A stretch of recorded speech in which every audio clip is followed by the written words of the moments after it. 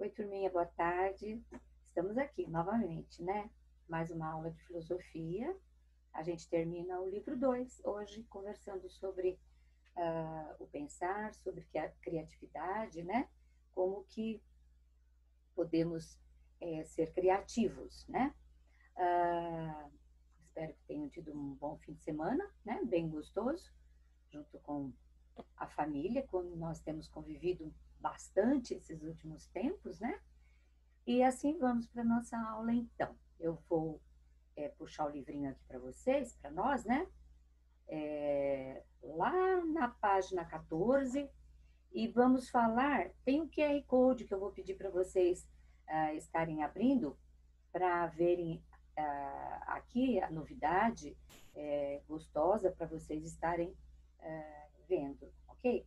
E aí vou aumentar a tela também, que aí a gente conversa melhor. A nossa aula de filosofia é aquele bate-papo, aquela conversa, né, que nós temos, né?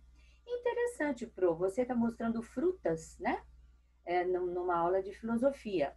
Pois é, vamos lá, vamos ver o que, que querem, o que quer dizer essas frutas aqui na nossa aula de filosofia hoje. Então o texto diz assim: Frutas e verduras são alimentos nutritivos e necessários para uma alimentação saudável. Contudo, há mais de 400 anos, um pintor italiano chamado Giuseppe Arcimboldo olhou para esses vegetais de uma maneira diferente da maioria das pessoas.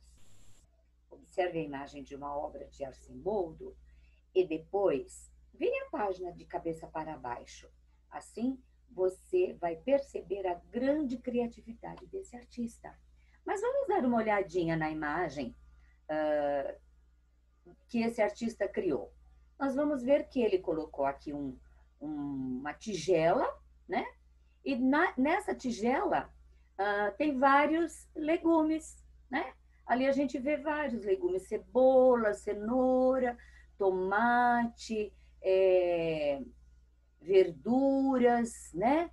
É, a pintura ela vai escurecendo e a gente parece que vai perdendo a, a, a, a visão do, do, que está ali representado na pintura, né?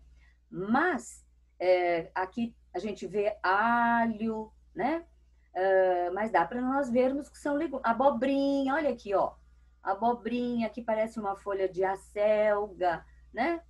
Enfim, ele foi colocando uh, os legumes aí. Tem uma outra é, imagem que vocês podem abrir aqui do QR Code, estar olhando. E o enunciado pede para nós virarmos a página de cabeça para baixo, né? E dar uma olhadinha nessa obra de arte do Giuseppe Arcimboldo, é, e ele colocou o nome de O Verdureiro nessa tela, né? É uma tela pintada em óleo sobre uma sobre tela, né? Para já estar dizendo, e fica exposta no Museu Cívico Ala Panzoni e Cremona, né? Então, é, essa, esse Museu Cívico Ala Panzoni é, não é aqui no Brasil, né? É, é, uma, é um museu onde ele tem essa obra exposta, né? É, lá. Uh, e essa, essa tela foi feita em 1590 então, isso quer dizer que esse artista já não existe, né? Ele já, já fez as coisas bonitas dele, já faleceu. De 1590, né? Então, é muito antiga. Eu quero mostrar aqui para vocês, aprovai é, diminuir a tela, eu quero mostrar aqui para vocês ah, como a, o enunciado propõe, para nós virarmos o livro. Então, olha a imagem virado o livrinho de ponta cabeça nós tínhamos uma tigela que, olhando agora, é um chapéu. Isso aqui é uma cabeça toda de, de legumes. Olha aqui, ó. Uh, repolhinho, né? Colocado nos olhos. Olha a cenoura, o nariz, ele também fez com. Parece mais uma mandioquinha o nariz dele, né? As bochechas, olha, com a cebola, o lábio aqui, olha, com as rodelas de tomate, a barba com a verdura, né? Ah, enfim, ele vai colocando o cabelo, ó, usando as verduras, né? Então precisa ser muito criativo mesmo para você é, é, reproduzir, fazer uma imagem dessa maneira, né? Uh, tendo duas visões, né? Uma é uma tigela cheia de legumes e outra, ao contrário, ela se transforma num rosto, né? É, ali bem criativo com os legumes, né? Mas então vamos continuar, Pro vai levantar a tela aqui para vocês e é, aumentar. E falando então sobre esse artista uh, Arcimboldo, né? Agora conheça uma obra do poeta brasileiro Ricardo da Cunha Lima. Esse artista criativo escreveu um livro chamado De Cabeça para Baixo, com poemas que incentivam o leitor a olhar o mundo de novas maneiras. O poema a seguir, por exemplo, é sobre uma verdura muito diferente. Então, lá é uma pintura, tem duas visões, né? É, da maneira como o artista pintou e de cabeça para baixo uma outra imagem ali colocada. E aqui, esse é, é, Ricardo da Cunha Lima, esse poeta, ele fez um, um livro chamado De Cabeça para Baixo, os poemas, é, com poemas é, que incentivam o, o leitor a olhar o mundo de novas maneiras, né? Então, vamos lá. A alface aérea, né? Vamos ler aqui o poema.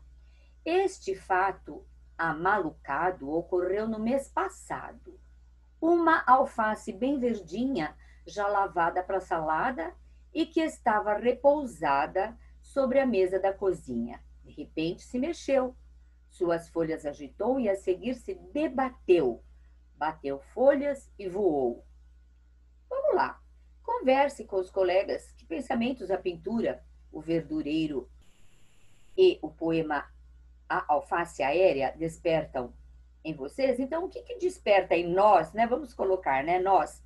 O que que a, a pintura do verdureiro, do, do, do artista Arcimboldo, e o poema A Alface, do Cunha Lima, o que que elas despertam em nós? O próprio texto, a gente lendo ali, o, o, o o enunciado, o texto já diz, ah, a maneira como nós podemos, ah, é um exemplo, né? A maneira como nós podemos ver ah, coisas diferentes, ter um olhar diferente para as coisas que nos rodeiam, para o mundo que nós temos, né? Nós não podemos ser limitados vendo as coisas de uma maneira só. A gente pode ver as coisas de várias maneiras, de outras maneiras, né? Tem maneiras de olhar que fazem bem para nós, né? É, muitas vezes a gente olha para alguma coisa, uh, uma situação, uh, e a gente não consegue ver aquela situação de uma maneira diferenciada, né? Se nós é, nos acostumarmos a ler pinturas, a ler textos, refletir sobre eles, pensar sobre eles, analisar, interpretar, a gente vai treinar é, a nós termos esse olhar diferente para tudo aquilo que nos rodeia, né? É, vai despertar uh, na nossa vidinha, né? Na nossa vida, mesmo vocês sendo crianças, vai despertar em vocês uma criatividade. Se eu fizer isso diferente do que está aqui, né? Uai, eu quero escrever também um, um poema e pôr ele de cabeça para baixo. Né? E vamos ver o que está escrito. Vou começar ele ao contrário, vou ler, vou ler de baixo para cima. O que será que acontece? Será que vai ter algum sentido? Não vai ter? Alguma coisa eu vou tirar dessa lição? Alguma coisa eu vou aprender? Eu vou estar criando? Eu vou estar inventando alguma coisa diferente? Né? Tudo para pensar, né? Tudo para fazer com que a gente pense, né? Então, aqui, com orientação do professor, use frutas e verduras para criar uma obra de arte. Então, com desenhos de frutas e verduras, tem uma proposta que o número dois, você pega uma folha de sulfite e inventa um, um, uma imagem usando uh, frutas e verduras. Quem sabe, né? É uma sugestão uh, de, de, uma tarefa que você pode fazer, ok? Aqui tem uh, o, o, QR Code que vocês podem estar abrindo. Então, nós já, já tivemos três é, QR Codes é, sugerindo aqui para a gente abrir para aprender e ver coisas novas, ok? Número 3. Como você desenharia uma verdura voadora? Porque aqui o poema do, do Ricardo do Lima da Cunha, ele está falando sobre uma, uma verdura, sobre a alface, né? Ele fala que a, a alface era verdinha, era, estava lavada para salada, né? E repousava sobre a mesa da cozinha. E, de repente, mexeu suas folhas, agitou e debateu, bateu folhas e voou, como se fosse uma borboleta. Então, ele imaginou a folha da alface como uma borboleta voando, né? Então, como você desenharia uma verdura voadora? Aí a tua criatividade, né? Não tem certo ou errado. Pro, pode fazer isso? Pro, pode fazer assim? Não tem pode. Aqui é a tua criatividade, é a tua mente, é a tua invenção que vai valer, né? A Pro não vai dizer tá certo ou tá errado. Ninguém vai, pode falar se tá certo ou errado. É a tua imaginação, né? Invente outra possibilidade diferente desse desenho. Imagine ainda o que uma verdura poderia fazer depois de levantar voo. Nossa, o que será que uma verdura levantando voo, se ela conseguir levantar voo, né? Ah, o, o que será que seria depois? O que, que ela faria, fa, faria depois disso, de estar levantando voo? Então, aqui foi a alface, mas pode ser uma folha de couve, pode ser uma folha de escarola, né? pode ser um, um, umas folhinhas de agrião, de rúcula, né? É, é, voando. O que será? Como será que elas voariam? O que será que seria depois que elas voassem? Né? E aí a gente vai criando, vai desenhando, né? E, e, e, e tendo essa visão de estar olhando alguma coisa diferente, né? Daquilo que realmente é. Porque a verdura, a alface, é para a gente se alimentar. A gente lava, faz a saladinha e come, né? Mas agora não, a gente já vê a verdura de uma outra forma. Vamos tentar, né? Vamos tentar. Depois aqui, pensar para cuidar. Olha só, nós vimos as várias maneiras de pensar, né, classe? Vimos as várias maneiras de pensar. E depois de pensarmos na, na possibilidade de pensar e criar, agora veio uma outra proposta que a filosofia faz a gente pensar. Pensar para cuidar. Pensar nos ajuda a entender como são as coisas que já existem e a criar coisas que ainda não existem. Também nos ajuda a nos colocarmos no lugar de outras pessoas e até mesmo de outros seres vivos. Assim, é possível compreender melhor os sentimentos, as ideias e as necessidades de cada um. Olha como o pensamento é importante, né? Nós, exercitando o pensar, nós vamos começar a entender também a nos colocarmos no lugar de outras pessoas. Isso é importante nós fazermos, porque muitas vezes a gente acha que só tem a gente, só tem a nossa dificuldade, só tem o nosso problema, só tem aquela situação que é da gente. E a gente não consegue perceber que o outro, né, o coleguinha, que a mamãe, que o papai, que a professora, que a titia, que o meu primo, né, que eles também têm é, é, situações que eles vivem e que são diferentes das minhas. E tem dificuldades que são diferentes das minhas, mas são dificuldades. E será que eu pensando, eu consigo me, me colocar no lugar dele? e de repente eu consigo até perceber que a minha dificuldade já não é tanta, já é menor do que a do outro, e que aí eu já posso até ajudá-lo.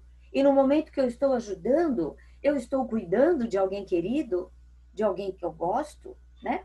Se eu me coloco no lugar de um animalzinho, será? Mas no lugar de outro ser vivo, pro, no lugar do cachorrinho, do gatinho, podemos? Se o cachorrinho está doentinho e você Fala, ah, ele tá doentinho, mas ele é cachorro. Ele é doentinho, mas tá é gato, né? Mas ele sente dor, dói. Será que eu consigo me colocar no lugar dele e falar, nossa, ele tá com dorzinha, ele precisa de cuidado, né? Eu preciso cuidar dele, né? Então, isso é importante, né? Nós compreendermos os sentimentos, né? As ideias, necessidades das pessoas. Às vezes, a nossa opinião sobre um assunto é uma opinião. Da, da, do outro é outra opinião. Mas será que eu consigo conversar com, com respeito a respeito das nossas opiniões? Eu consigo me colocar no lugar dele, da ideia dele, da opinião dele e entendê-lo, né?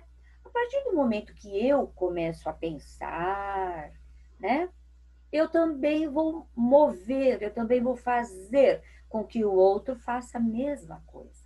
Então, na hora que eu precisar, aquela pessoa vai se colocar no meu lugar e vai cuidar de mim e vai me ajudar no momento que eu precise. Né? São coisas importantes na vida. Vocês são crianças, e pro, mas esse assunto é tão sério, né? Mas sabe que a Bíblia fala que ensina a criança no caminho que deve andar e ela nunca vai se desviar dele. É, então pensando, pensando coisas boas, coisas é, saudáveis, a gente nunca vai se desviar desse caminho. Por isso que a Pro falar com vocês em filosofia sobre essas coisas. O livro propõe e a Pro conversa uh, de maneira que vocês entendam, mesmo sendo crianças, ok?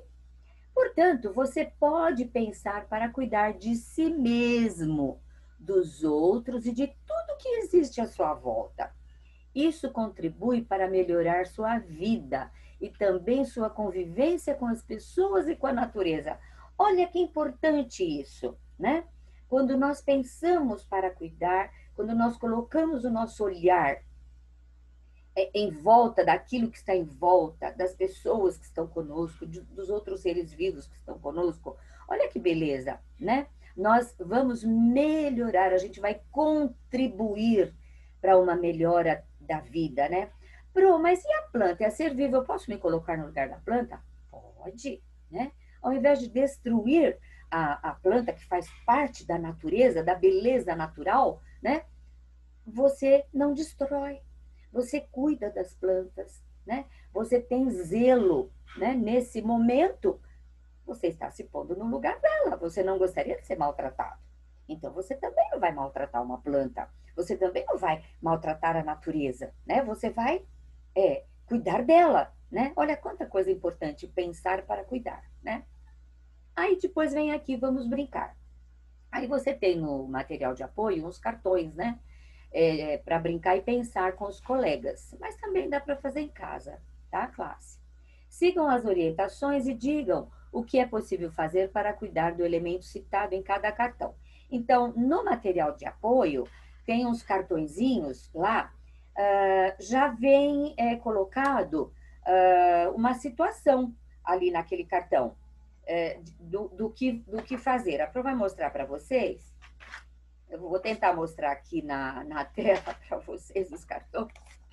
Vocês olhem no livro de vocês. Nesta página do livro é material de apoio, né? Vocês vão lá. Então, cada cartãozinho deste, cada cartãozinho deste tem um, um sentimento, tem um cuidado escrito ali cuidar de um brinquedo, por exemplo, uh, cuidar de um livro, cuidar de uma escola, cuidar de uma planta, uh, cuidar de um animalzinho, cuidar da natureza, cuidar de um bebê, cuidar de si mesmo, que importante é, né? Cuidar da saúde, uh, cuidar de uma amizade, cuidar dos sentimentos. É muito importante cuidar dos nossos sentimentos, né? é, cuidar dos pensamentos. Cuidar dos pensamentos, a gente precisa cuidar dos nossos pensamentos, a gente já conversou, né? Sobre isso, né? É, então, precisamos cuidar dos pensamentos. Então, uh, você vai é, é, é, brincar com um colega, seguindo as orientações, e daí vocês vão, é, é, coloquem os cartõezinhos de cabeça todos tombadinhos, né? para baixo. Aí tira um cartãozinho lê o que está escrito e daí vocês conversam. É possível? Não é possível? O que, que dá para fazer? Quando diz no cartãozinho, cuidar da natureza, um fala para o outro, você pode cuidar como? Depois, eu posso cuidar assim, o outro, eu posso cuidar assim, e cada um vai dando a sua opinião, né? Depois que vocês fizerem essa brincadeira, você vai, uh, vocês vão utilizar algumas palavras para nomear atitudes que demonstram cuidado. Escolha quatro dessas palavras para completar os espaços a seguir. Vocês têm quatro uh, retângulos aqui, né? Então, você pode escolher quatro uh, palavras uh, para completar os espaços, né? Então, você vai é, começando no primeiro, depois vem para cá, depois vem para aqui de baixo e vem para cá e termina, ok? Quatro palavrinhas uh, para demonstrar cuidado, ok? Uh, aí você, é criatividade, é vocês, tá bom? Não tem é, certo, errado. Eu fiz certo. Se você fizer quatro palavrinhas uh, mos, mostrando com essas quatro palavrinhas um cuidado que você pode ter, né? ou uma atitude, né? É, é, é, demonstrando uma atitude que você tenha cuidado com o ser humano, com os seres vivos, com a planta, com o animal, aquilo que você escolher. Tá certo, né? eu cuido bem do meu corpo. Passou de, de quatro palavras não faz mal, mas você colocou nos quatro quadradinhos um pensamento, ok? Eu cuido da mamãe, quatro palavrinhas, e expressou uma atitude, você cuidando né, da mamãe, ok? Então vamos lá. Uh, na página seguinte, essa imagem mostra um quero-quero, né? A ave que vive uh, no, nos campos do Brasil e de outros países. Ele é chamado assim porque o seu canto parece dizer quero, quero. Há também uma lenda para explicar o motivo desse nome. Ah, conta a lenda que um pássaro solitário repetia sem parar: Quero, quero, quero. Entrava na conversa das outras aves e, antes de saber do que elas estavam falando, gritava sempre a mesma palavra: Quero, quero, Quero! Um dia, uma sábia coruja decidiu ajudar o pássaro. Disse a ele que para viver bem é necessário querer duas vezes. O pássaro pediu a ela que explicasse o que isso significava e, pela primeira vez, prestou atenção no que uma ave estava dizendo. Então, a coruja disse que devemos querer o bem e a felicidade para nós mas também devemos querer o bem e a felicidade para os outros. Desse dia em diante, o pássaro passou a cantar Quero, quero e ficou conhecido por esse nome. Quero, quero. Linda lenda, né? Dá para a gente tirar uh, lições para nossa vida com essa lenda, né? Escreva o ensinamento que o pássaro Quero, quero aprendeu nessa história. Que ensinamento que ele teve, né? Uh, é, com essa história, quando a coruja explicou para ele. Olha lá, ela explicou para ele que para viver bem é necessário querer duas vezes, né? Então o pássaro pediu a ela que explicasse o que isso significava. significava. Então, olha lá o que ele aprendeu. Ah, é, ela disse assim: pela primeira, ele prestou pela primeira vez atenção no que uma ave dizia, porque ele não prestava atenção, ele ficava, quero, quero, quero, e não prestava atenção. Então, pela primeira vez, ele prestou atenção no que o ave dizia, né? E a coruja disse para ele assim: devemos querer o bem e a felicidade para nós, mas também devemos querer o bem e a felicidade para os outros. Então, é importante nós querermos o nosso bem, né? Cuidar de nós, mas também é importante nós querermos o bem e a felicidade dos outros. Aquilo que eu gosto para mim, eu gosto para o outro. Aquilo que eu não gosto para mim, eu não faço, eu não gosto para os outros, para o meu próximo, ok? Tá bom? Uh, hora de filosofar. A gente está fazendo isso, né? Filosofando, né? Conversando, pensando. Vamos lá. Pensando no ensinamento que o Quero Quero aprendeu, observe as situações indicadas a seguir. Converse com os colegas. Aqui a gente está conversando entre nós. A Pro está falando, vocês vão ouvir, né? Vocês estão ouvindo e vocês vão uh, pensando, se quiser parar o vídeo e, e pensar e fazer um comentário sobre aquilo que a gente está conversando, você para, comenta, né? Pode comentar com você mesmo, sozinho, ou então comenta com quem estiver perto de você, né? Uh, porque é uma conversa que a gente está tendo aqui, né? Então, vamos lá. Uh, aqui você tem assim: Ana contou um segredo a Júlia. Mais tarde, Júlia contou esse segredo para outras pessoas. Ah, quando eu conto um segredo para alguém, a palavrinha está dizendo segredo.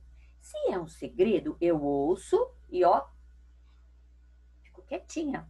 Não conto para ninguém. Porque quando ela, a pessoa me conta um segredo, é porque ela confia que eu vou ouvir e vou guardar para mim. Agora, se ela me conta e eu vou e conto para o outro, deixou de ser segredo. Então, eu não fui leal com quem me contou o segredo, né? Então, aqui, a, a Ana contou o segredo para a Júlia e mais tarde Júlia contou esse segredo para outras pessoas. Júlia não agiu corretamente, né? Porque se fizesse isso com ela, ela não iria gostar. Se uh, ela contasse o um segredo para Ana e a Ana fosse contar mais tarde para outras pessoas, ela não iria gostar. Ela ia falar: Poxa, Ana, eu te contei e você foi contar para os outros, né? Então, a, a Júlia não procedeu com lealdade com a amiga dela, né? Que motivos podem ter levado Júlia a agir assim? Por que será que Júlia fez isso? Foi contar o segredo para as outras pessoas. Que será? Né? O que você acha que Ana sentiu? Por que será que Júlia fez isso? E o que será que a Ana sentiu? Por que, que a Ana sentiu o que você estiver é, achando? Então, por exemplo, é, você, a tua opinião é que Ana ficou triste. Por quê que a Ana ficou triste? Porque a Júlia não foi leal com ela. Não foi isso? Então, aqui, turminha, você veja, nós estamos pensando ah, ah, ah, em filosofia, quando a professora fala que não tem certo, não tem errado, cada um tem a sua maneira de pensar, mas tem alguns pensamentos que envolvem sentimento, envolvem um valor, né, de educação, de princípio, que aí a gente precisa pensar mais ainda. Aí a gente repensa, né? Repensa. Ah, ela não sentiu nada. Ela não devia ter sentido nada. Ah, se fizer isso para mim, eu não vou ligar. Tudo bem. É a tua opinião, a gente vai respeitar, porque aqui a gente respeita, né? Mas vamos pensar e repensar, né? Até quando você vai iria gostar que uma pessoa não fosse leal com você, né? Então a gente tem que pensar essas coisinhas desde pequeno, desde criança, ok? Pedro não trouxe lanche. Outra situação. Então, Luísa dividiu o lanche dela com Pedro. Olha que atitude. É uma atitude bonita, né? O amigo não trouxe lanche, ela dividiu o lanche dela com o um amigo. Ela podia ignorar, problema dele, não trouxe lanche, problema dele. Eu trouxe o meu, né? Isso é uma atitude egoísta, só pensar em si. Mas quando eu penso para cuidar, eu estou prestando atenção então, o que tem em volta de mim. Então, eu posso cuidar do meu amigo, eu divido meu lanche com meu amigo. Porque e se fosse comigo? Eu esqueci o lanche e ninguém divide comigo, né? Olha lá na escola, quantas vezes acontece isso, né?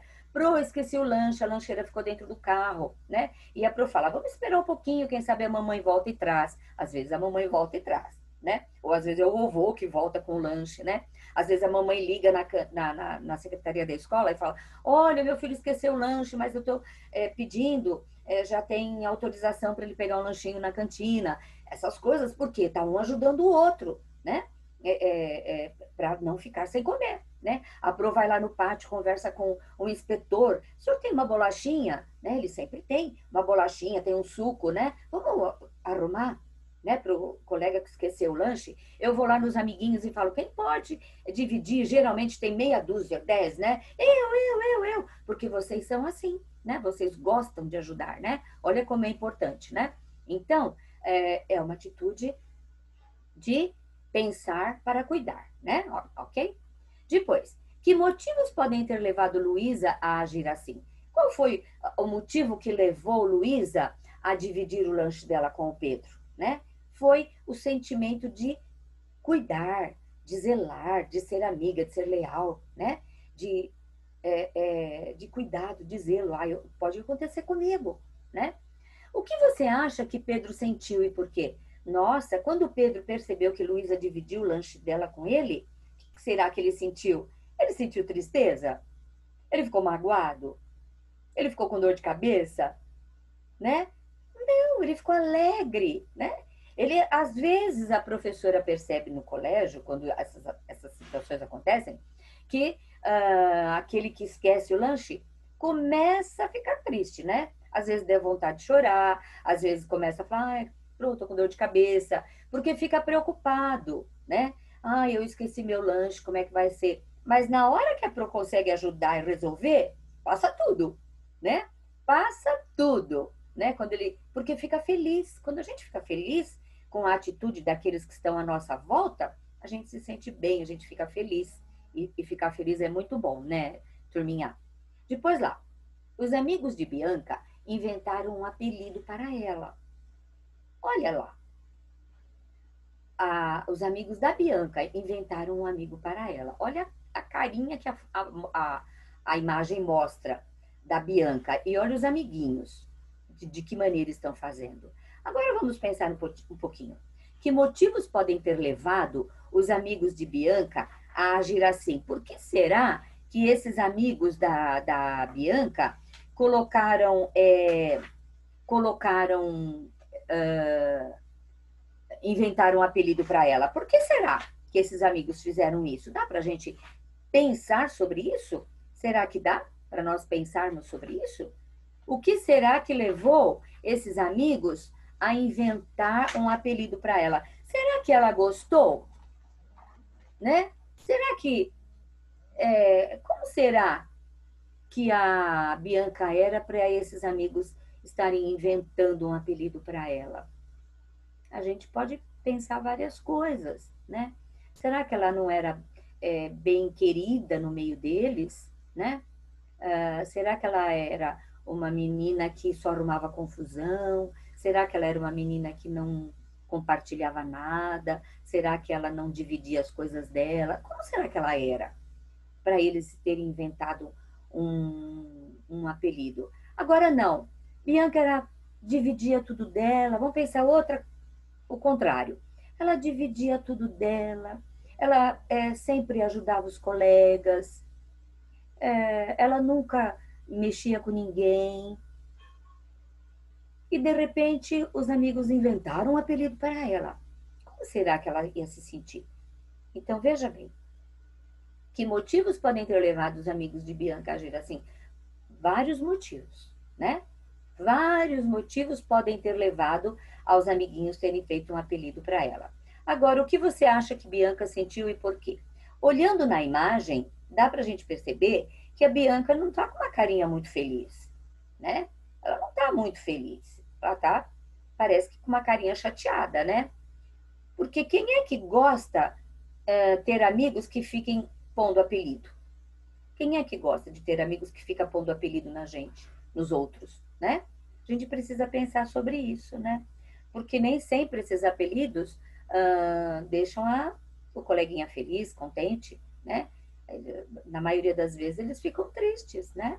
Então a gente não deve pôr apelido, né? A gente, ah, mas foi por brincadeira, eu estava brincando. Bom, se teu amiguinho aceita a brincadeira, é outra coisa. Aqui nós estamos conversando, né, classe? A gente não está dizendo que está certo e que está errado. Nós estamos conversando.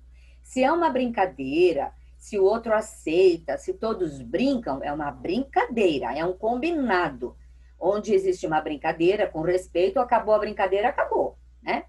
Agora, essa é, é brincadeira que envolve apelido, a gente precisa tomar cuidado, né? Porque às vezes não é bem querida é, é, para essas, para os coleguinhas e para as pessoas esses apelidos, né? Então a gente deve pensar para cuidar. Se alguém colocar um apelido em mim e ficar falando toda hora meu, comigo sobre esse apelido e, e, falando com os outros colegas também, e rindo, e como mostra a imagem aqui, que estão, né, falando alto o apelido, a gente não vai gostar, né? A gente não vai gostar. Então, aquilo que nós não queremos para nós, nós não fazemos para o outro também. Nós não fazemos, né? Porque assim como o teu coleguinha, a minha colega, a minha amiga, pode nem ligar e falar, ah, ela tá brincando. Ela pode pensar isso. Ah, deixa, a Sônia tá brincando comigo, eu não vou ligar, né? Eu sei que ela brinca, que ela gosta de brincar e não vai ligar. Assim como a minha amiga pode pensar isso, ela também pode pensar: poxa, Sônia, o que é isso? Por que, que você me pôs esse apelido? A gente nunca sabe, né? Então, aquilo que a gente. Será que eu gostaria para mim? Não, não gostaria. Ah, então eu não vou fazer. Não gostaria que ninguém pusesse apelido em mim. Ah, então também não vou pôr, né? Existe isso para a gente pensar, ok? Aí vamos lá. Uh, os colegas de Lucas não o deixaram participar de uma brincadeira. Olá. Eles estão brincando de pipa e não deixaram o Lucas brincar. Você gostaria que acontecesse isso com você? Você vendo seus amigos brincando, posso brincar? Seus amigos falam, não, não pode. Gosta? Não gosta. Então, de novo, aquilo que você não gosta para você, não faz para seu colega, né? Quantas vezes na, lá na escola que a professora vai nas mesinhas e, e vê um, um, um, coleguinha tomando lanche sozinha, a Pro pergunta, por que, que você está tomando lanche sozinho? Né? E a Pro ouve o que, que ele tem para falar. Às vezes ele fala, ah, eu que quis tomar lanche sozinho. Tem certeza? Você quis mesmo sozinho? É, eu já estou quase acabando, depois eu vou no banheiro, depois eu vou brincar. Tudo bem, né? Mas outras vezes a professora ouviu, ai, é, eu não, eu tomando sozinho porque fulana, fulano não deixou eu, né? Não vou falar nomes aqui agora, né? Esse ou aquele não deixou eu tomar lanche. A professora vai investigar. Por que que não deixou, né? Aí ouço, ouço vocês, ouço o que vocês têm para me falar e depois eu vou nas mesinhas perguntando, né? Na, com os amiguinhos que ele citou nome, falou que não deixou brincar. A professora vai lá apurar, ver por que que não deixou e vai explicar e vai fazer entender, né? Quantas vezes? Porque é aquela situação que eu não quero para mim, eu não quero para os outros, ok? É sempre para pensar assim, né? Aí a perguntinha: que motivos podem ter levado os colegas de Lucas a agir assim? Que motivos, né? É, é, é, Lucas deu para eles agirem assim, né? Seja qual for também, né, classe? Porque uh, você nunca retribui uma, uma nunca retribui é, com uma atitude é, ruim o que o outro colega fez de ruim para você. Então, pode ser que o teu colega tenha feito uma, agido com você com uma atitude que você não gostou, mas você vai retribuir igualzinho, né? Geralmente a gente deve conversar, né? Olha, eu não gostei do que você fez, você não deixou eu brincar com você, eu não gostei. Eu não faria isso com você. Pode ter um diálogo, né? Pode ter um diálogo nesse, nesse, nessas situações, né? O que você acha que Lucas sentiu e por quê? Então, o Lucas, né? Ou ele está pensando o que será que eu fiz, que eles não me querem, ou ele está muito triste e, e, e, então aí fica é, quieto, tímido, sozinho, né? Uh, mas o que você acha que ele deve ter sentido? E por que que ele está sentindo? Ele se sentiu uh, fora da brincadeira, ele se sentiu excluído da brincadeira, né? Ele pode se, ele pode sentir raiva, ele pode sentir uh, é, dor de cabeça, dor de barriga, porque vem uma tristeza. Quando tem uma tristeza, geralmente a tristeza vai dar dor de garganta, começa, ai, tá me doendo, né? Mas não é daquela vontade de chorar e não chora, aí começa aquela dorzinha aqui na garganta, né? Porque ficou triste, né? Ficou triste. E é assim, classe. O sentimento que a gente tem, dependendo do sentimento, todo sentimento, uh, por exemplo, raiva, rancor, uh, fúria, né? Uh, vingança, esses sentimentos, eles nos causam dores no corpo, faz mal para o corpo. Então, se eu fico muito triste, a tristeza vai fazer mal para o meu corpo. De que jeito, Pro? Dando dor na barriga, né? Começa a dar enjoo do estômago, dói a barriga, dá vontade de ir no banheiro correndo, né? É quando vocês vêm, Pro, posso ir no banheiro correndo? Posso? E a Pro, logo, vai, vai, vai, vai, né? Vai rápido. E quantas vezes depois a professora vem saber que uh, aquela dor de barriga que deu rápido foi porque alguma coisa aconteceu, né? Porque alguma tristeza, alguma chateação, de repente um coleguinha, você ficou zangado com um coleguinha porque um coleguinha fez alguma coisa, aí aparece no corpo aquele mal-estar. Então a gente tem que evitar essas coisas, né? A gente tem sempre que procurar alguma coisa que nos faça se sentir melhor, sempre. Ah, eu tô zangado com meu colega, o meu colega me zangou, eu vou fazer alguma coisa para me sentir melhor. né? Sempre, sempre, sempre. Vai ouvir uma música, vai fazer um desenho, né? Vai lembrar de um passeio que fez com a vovó, com o vovô, alguma coisa que faça bem para você, para não sentir essas coisas no corpo, porque faz mal, dor de cabeça, começa a dar uma dor de cabeça, é alguma algum sentimento ruim que está ali, né? De rancor, de raiva, de tristeza, de mágoa, de zangado, não fica, não fica assim. Sempre procura alguém para te ajudar. Se você não sabe dialogar, conversar, procura sempre alguém para te ajudar, para você se sentir melhor, ok? Vamos lá. Laura não conseguiu fazer uma tarefa da escola, mas o irmão ajudou a menina. Olha lá, que atitude bonita. Ela não conseguia fazer a tarefa. O irmão foi lá e ajudou. Como é bom, né? Que motivos podem ter levado o irmão de Laura a agir assim? Por que será que ele quis ajudar a, a Laura? Com certeza ele viu a dificuldade, pode ter visto a dificuldade da Laura.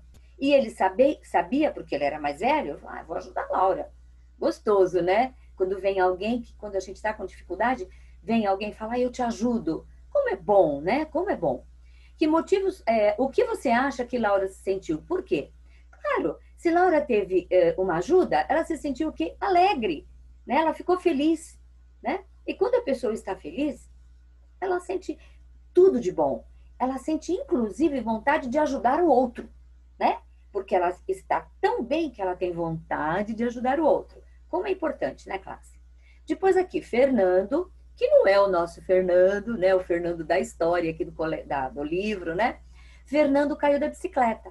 Os colegas dele estavam por perto e riram do que aconteceu.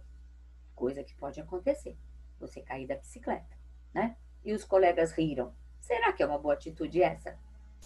Que motivos podem ter levado os colegas de Fernando a agir assim? Se teve algum, se teve algum, algum motivo para essas crianças terem agido assim, uh, foi algum motivo desagradável, né? Elas não deveriam ter agido assim com, com ele, porque elas deviam ter pensado: eu gostaria cair da bicicleta e outros rirem do meu tombo? Será que é legal isso? Não é legal, né? O que você acha que Fernando sentiu e por quê? Ele deve ter ficado bravo. Pode? Ficou bravo. Por que vocês estão rindo? Eu, eu caí se vocês tivessem caído, né? Ele pode ter ficado triste. Ele pode ter chorado. Ele pode ter ficado magoado, né? Por quê? Porque os colegas riram dele. Ninguém gosta que alguém ria da gente, né? Ninguém gosta. Muito bem, turminha falamos sobre o pensar para cuidar, porque quando nós uh, pensamos em zelar, cuidar, da, é, é, pensamos sobre o que está à nossa volta uh, e pensamos em fazer o bem, nós estamos cuidando, né, de tudo aquilo que está à nossa volta. Agora nós temos aqui, ó, corrigir os pensamentos. Quando pensamos sobre algo, podemos nos enganar. Por isso, é muito importante conversar a respeito de nossos pensamentos. Afinal, uma boa troca de ideias pode nos, uh, pode nos ajudar a perceber e a corrigir os enganos, né? Muitas vezes nós precisamos corrigir uh, nossos enganos. A, gente se engana. Às vezes nós temos pensamentos enganosos, né? Pensamos isto ou aquilo e quando a gente vai falar, nossa, eu me enganei, não era isso. Então eu tenho que pensar em como me corrigir. E isso acontece na, na nossa vida de criança e de adolescente e de jovem e de adulto. Quantas vezes, né? A gente tem um pensamento e depois a gente vai falar, poxa, eu me enganei. Eu tenho que reparar, né? Eu tenho que, se eu cheguei a falar, a externar eh, para a pessoa o meu pensamento, e magoei, eu vou ter que pedir desculpas, eu vou ter que corrigir o meu engano, o engano do meu pensamento, daquele pensamento, né? E corrigindo o meu pensamento, não adianta eu corrigir e guardar para mim aqui, ah, eu não devia ter pensado isso. E ficar só para mim se eu já tinha falado o meu pensamento para a pessoa, né? Então eu tenho que chegar naquela pessoa e falar, você me desculpe, eu me enganei, eu quero corrigir o meu pensamento. Eu não, não eu me enganei não quero mais pensar assim, não estou pensando assim, você me perdoa, me desculpe, né? Porque eu percebi o meu engano e quero corrigi-lo, né? é corrigir os pensamentos. É possível nós corrigirmos os nossos pensamentos. Depois, hora de filosofar. Os pensam... Nós estamos filosofando desde o começo da aula, né, turminha? Falando, falando, né? Os pensamentos mencionados a seguir contêm enganos. Converse com os colegas a respeito deles. A Prova vai conversar aqui com vocês a respeito uh, desses pensamentos. Vamos lá. E é sobre o que a gente estava estudando, os textos que a gente estudou lá e a gente vai uh, verificar aqui o que, que a gente pode pensar. Desafio: descubra os enganos desses pensamentos e faça sugestões para corrigir cada um deles. Então, aqui nós temos vários pensamentos e vamos ver se a gente consegue corrigir. Seria gostoso a gente estar na sala de aula, porque como vocês participam bastante, ficaria bem gostoso uh, nós estarmos falando e vocês participando junto, né? Ainda mais que vocês são tão criativos, né? Participativos. Então, aqui diz assim: a alface do poema saiu voando. Então, a alface uh, do seu almoço também sairá voando? Então, é para a gente pensar, ó. A alface do poema saiu voando. Então, a alface do almoço também sairá voando. É verdade essa, essa afirmação aqui? Como o alface do poema voou, a da minha saladeira na mesa, na hora que eu estiver almoçando, vai sair voando também? Né? Então, nós temos que corrigir. Não, a salada do meu almoço não vai voar, né? A do poema, como o poema é criativo, ele faz a gente pensar, né? Sobre várias coisas. Lá, a imaginação, a alface pode voar como uma borboleta. Agora, na minha salada, no meu prato, na minha saladeira, não. Não vai voar, né? Uh, os passarinhos voam e as moscas também voam.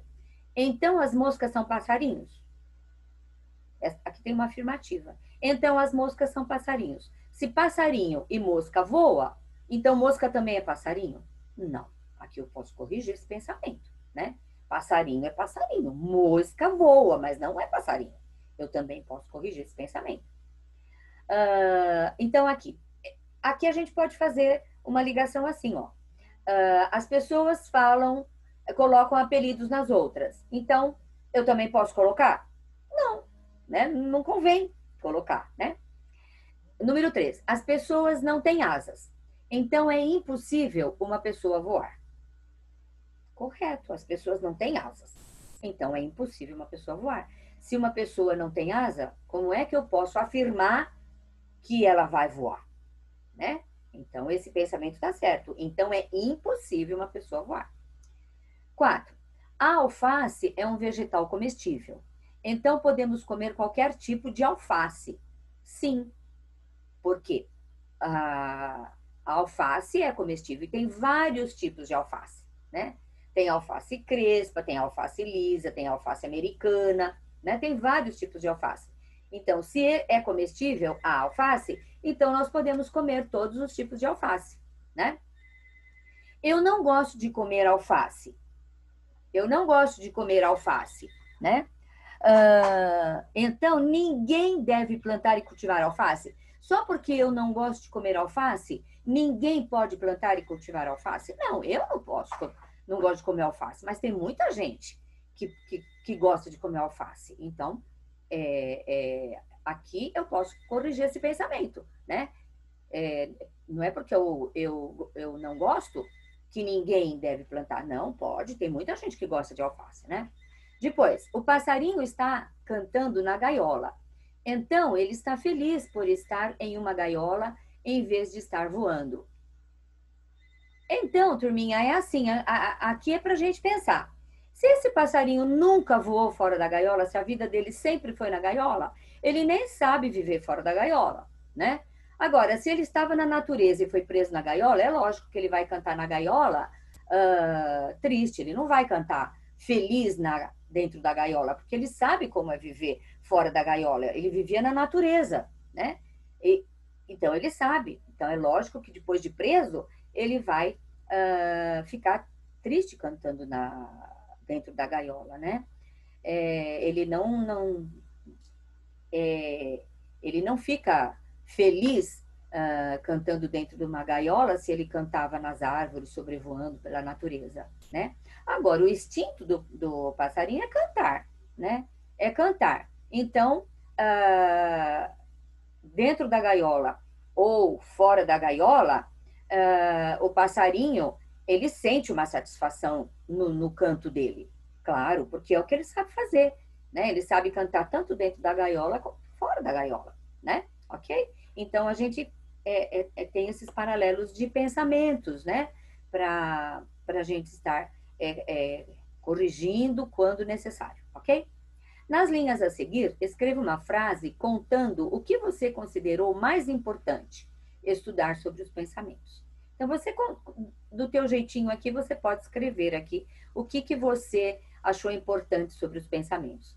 Lembre-se, pensar nos ajuda a entender o mundo, a criar coisas interessantes, a cuidar de nós, dos outros e de tudo que nos cerca.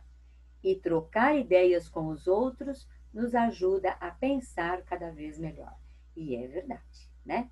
É, quando nós trocamos é, ideias, pensamentos com outras pessoas, é, a gente vai aprimorar, né? Nós vamos pensar cada vez melhor é, sobre qualquer assunto.